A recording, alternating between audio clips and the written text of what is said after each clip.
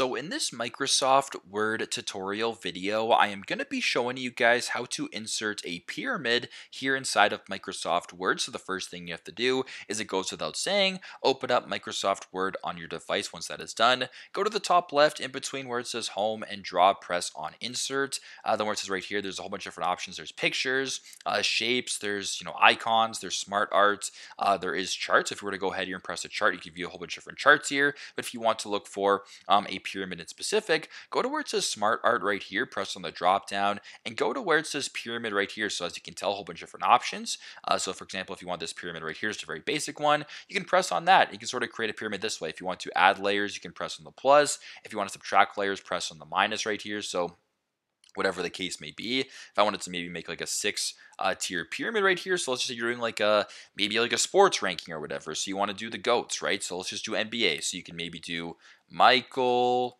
Jordan at the top, right? Just like that. Or you can go down, you can go LeBron James, you can go Kobe Bryant, whatever the case may be, you can kind of play around with it that way and do whatever you have to do. Now, if you want to change the colors, go to the top here, press on change colors. Uh, you can change the colors of your pyramid just like that. You can sort of go to the font here uh, and change the font to whatever you want. Uh, you can play around with it, do whatever, do whatever you have to do, but pretty straightforward, pretty simple. Uh, this is how to insert a pyramid into your document here in Microsoft Word. Thanks again for watching, and I hope this video helps.